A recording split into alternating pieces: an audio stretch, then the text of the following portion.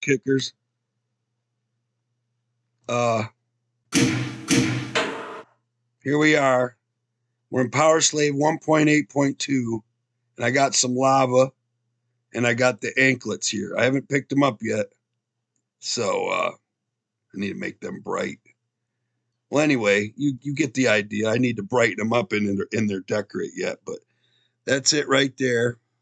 That's the anklets, and what they do, they protect you from dying from lava and acid, which is the green slime in Power Slave is acid.